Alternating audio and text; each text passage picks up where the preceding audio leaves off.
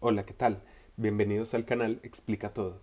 Hoy vamos a ver qué es el cuento, qué significa cuento. Un cuento es un relato o narración breve de carácter ficticio o real, con un argumento fácil de entender y cuyo objetivo es formativo o lúdico.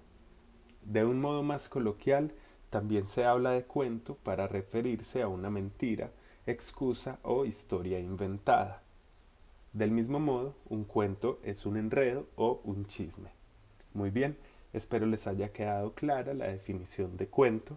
No olviden suscribirse, activar la campana y darle clic en me gusta si les fue útil este video. Chao, chao, hasta la próxima.